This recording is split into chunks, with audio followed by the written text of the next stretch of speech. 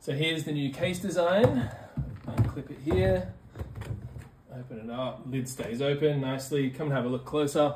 So all of these are high quality USB-Cs. They all just plug in to each one. And you can see them fitted into these USB power banks.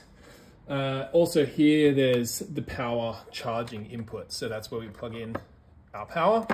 And then we can pull this whole section out and underneath you can see all the space for cables, headphone splitters and all that kind of thing. And then this can be just picked up and carried and put anywhere on a table.